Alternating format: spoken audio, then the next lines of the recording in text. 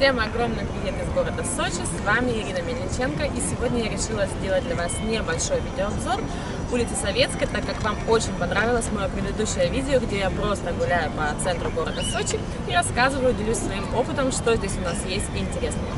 Если для вас это важно, досмотрите это видео до конца, я надеюсь, оно понравится вам. С правой стороны у нас наша небольшая по размерам администрация, здесь вот летом у нас фонтан, Отличная сегодня погода.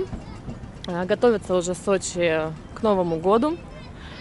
Как раз вот здесь вот елочки, домики. Это у нас Сочинский государственный университет туризма, где я тоже имела возможность поучиться. А, и рождественская ярмарка уже поставили небольшие будочки с сувенирами. Сейчас как раз активно эту площадь готовят к Новому году. Думаю, что вечером здесь будет классно, красиво, надо будет обязательно прогуляться. Кстати, один мой знакомый, местный житель, каждый год встречает э, свой Новый год на этой площади и говорит, что очень весело. Надо будет тоже как-нибудь попробовать. А, паровозик для детей тоже вас может покатать по улице Новогинской. А я сейчас пойду от администрации, как раз пройдусь до центрального универмага. Улица Советская у нас коротенькая, тупиковая.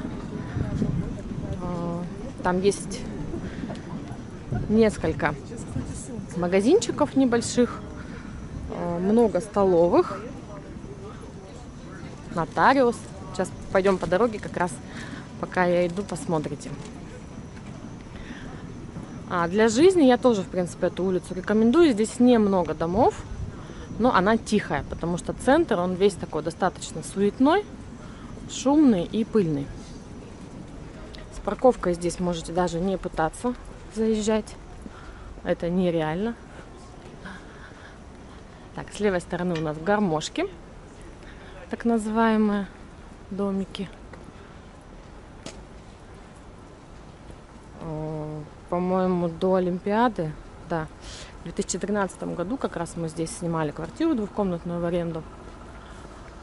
Хороший район, мне понравилось здесь жить удобно. Ну, хорошая планировка еще была у квартиры. Множество банков здесь представлено. Газпромбанк, Магнит, типография. Вот это вот небольшой а, бизнес-центр с офисами. Здесь же у нас находится МИГ, Институт генплана муниципальный. На втором этаже здесь замечательный гастропаб, называется «По-тихому». Прикреплю, кстати, видео внизу, можете посмотреть, рекомендую. Здесь неплохие бизнес-ланчи. Ну и вечером тоже посидеть тоже можно неплохо. Вот. А здесь вот очень часто меняются арендаторы. Сейчас вот даже что здесь? Кулинария, роллы, пиццы. Уютное такое местечко, тихо. Можно посидеть на улице. Кофейня. Еще одна кофейня. Мастер суши вкусные, но долго всегда приходится ждать, поэтому что-то мы перестали здесь их заказывать. Так, здесь у нас проход на улицу Горького. Такой вот сквозной.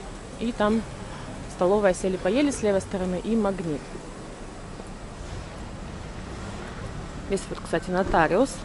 Хороший, грамотный. Рекомендую, если будет нужен мужской клуб с кроликами. 18 плюс. Еще одна аптека. Здесь тоже, по-моему, у нас банк был. То есть много офисов на этой улице. И салонов красоты. Погода просто отличная. Плюс 16 сегодня. До Нового года, как правило, всегда классная солнечная погода, которая очень нас радует. Здесь буквально несколько жилых домов. Всего получается вот гармошка, про которую я говорила.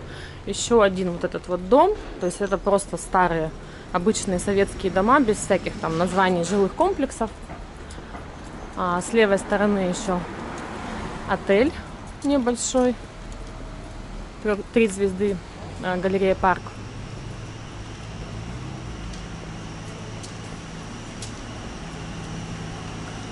Стардокс открылся. Раньше не видела его в Сочи. азбука питания. Здесь полезная еда. Еще одна студия красоты. Продуктовый магазин. И с левой стороны будет проход как раз уже на Новогинскую. Здесь у нас раньше была налоговая. Сейчас она переехала на курортный проспект. Это вот тоже продолжение тех самых гармошек жилых домов.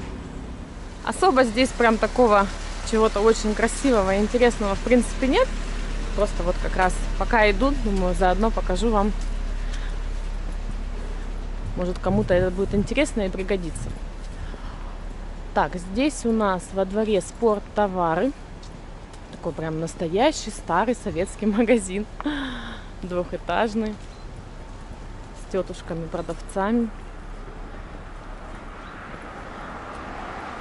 Здесь вот тоже бизнес-центр. Строительная компания, Билайн, столовая, недвижимость. А рядышком здесь во дворе кафе «Мама». Тоже, кстати, замечательное место. Хоть там и официанты немножко, так скажем, а, мягко выражаясь, не все успевают. Но мы все равно любим сюда ходить. Можно посидеть на улице, и, в принципе, неплохая кухня. Цены тоже достаточно демократичные. Ну, то есть обычные средние цены по Сочи. И, кстати, неплохие бизнес-ланчи тоже здесь есть. Так, здесь вот у нас сталинский дом и детский сад. Детский сад номер 5. Хороший детский садик. В самом центре. Адрес здесь Советская, 57. И вот она, в принципе, улица-то уже подходит к концу. Так, банк, еще банк, корейская косметика. И, по-моему, здесь продавали ковры. В Сочи всегда очень хаотично так все разбросано. Поэтому, если вам будут нужны ковры, если они еще не съехали, сейчас посмотрю, то можно будет купить их здесь. Еще один офисный центр –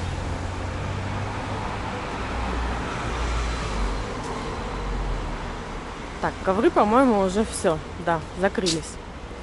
Постоянно здесь идет смена арендаторов. Кофейня, кофейня. А нет, нет, вот они остались, эти ковры, про которые я говорила. Называется Сима. Ковры и напольные покрытия. Это продукты закрылись. Здесь у нас такая небольшая горочка по сочинским меркам. И прямо уже ЦУМ. ЦУМ, вторая поликлиника и ЖД вокзал.